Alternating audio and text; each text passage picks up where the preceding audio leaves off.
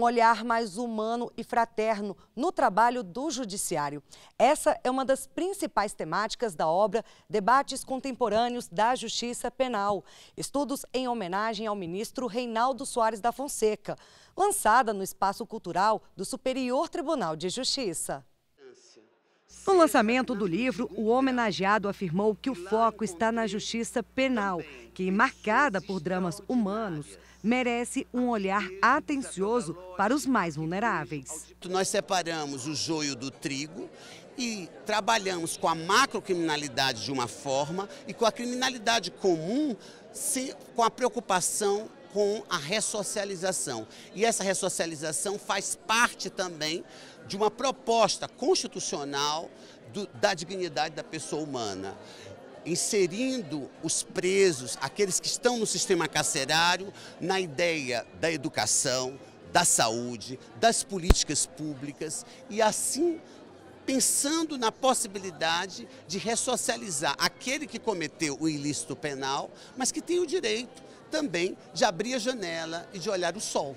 A coletânea foi organizada pelos defensores públicos William Ackerman, Rodrigo Casimiro Reis e Murilo Casas Maia uma obra em homenagem ao grande magistrado, ministro do Superior Tribunal de Justiça, Reinaldo, que é um dos grandes artífices dessa constante e necessária reconstrução do sistema de justiça criminal. Trazemos temas atuais, contemporâneos, como o acordo de não persecução penal, a questão em torno da clemência no tribunal do júri, questão em torno da pronúncia também, o descabimento do suposto princípio do indúbio pro societate. São temas que são tratados nas turmas criminais do STJ. O livro contém 21 artigos escritos por magistrados, defensores públicos, advogados e assessores do STJ e do Supremo Tribunal Federal. A Paula Kageyama, assessora do gabinete do ministro Joel Ilan Paciornik, contribuiu com um artigo. Eu falo sobre a falibilidade da prova testemunhal, que é, uma, que é um tema que eu estudei no mestrado, que a prova testemunhal é, é uma das mais utilizadas no processo penal, porque é mais fácil, é mais rápida de ser produzida.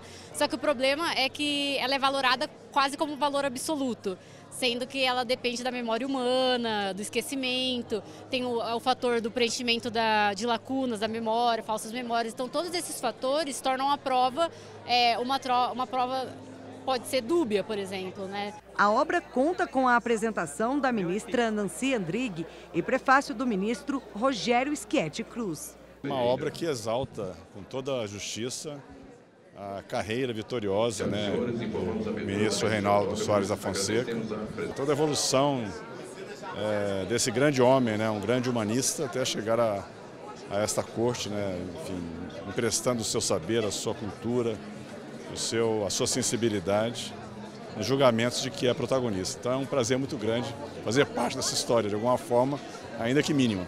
O pós-fácil foi escrito pela ministra aposentada do STJ, Eliana Calmon.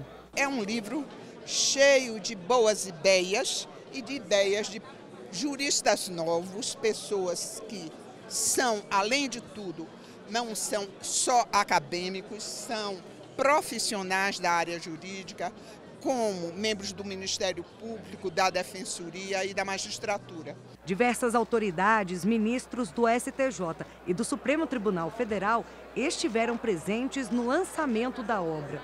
O ministro do STF, Edson Fachin, elogiou o trabalho dos organizadores.